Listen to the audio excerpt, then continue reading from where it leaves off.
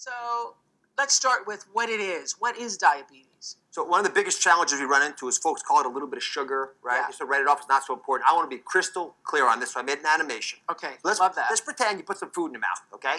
And let's just say it's some tortillas with a little bit of cheese on it. It's pretty benign looking. Goes into your mouth, into the stomach, just freezes for a second. So there's your stomach digesting the food. There's the liver, which has to take all the nutrients to decide what to do with it, including making sugar out of it. Gallbladder's the green stuff, and this organ right here, that yellowish thing, that's the hero today. That's called the pancreas. Let's run this forward. The food goes through the stomach into the small bowel. The bile, the green stuff, and the yellow stuff from the pancreas, they mix. And There's the pancreas there doing its best to keep up. The food is being washed like you wash soap off, some grease, and the molecules of glucose or sugar get absorbed into the body. Now, let's cut into the bloodstream. The sugar now is traveling around, and these little particles here are insulin. And these insulin particles are being released from the pancreas. And what the pancreas is trying to do, freeze us for a second, is to take the sugar, these blue dots coming in are sugar molecules. And the insulin is saying, come to me, come to me, like a funnel. It's allowing the sugar to go past the bloodstream into the tissues. Goes to our brain. Our brain can only use sugar to think.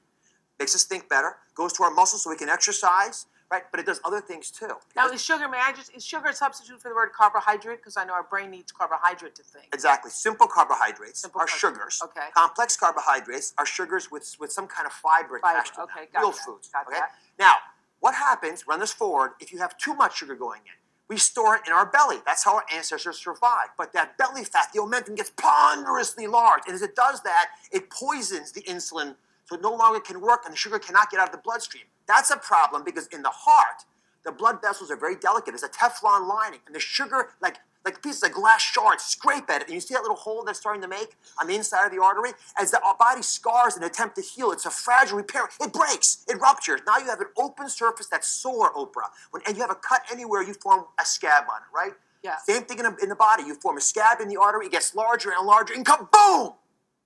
Right there, you saw the leading cause of death in diabetics. Because a diabetic will most likely die from a heart attack, from that very reason.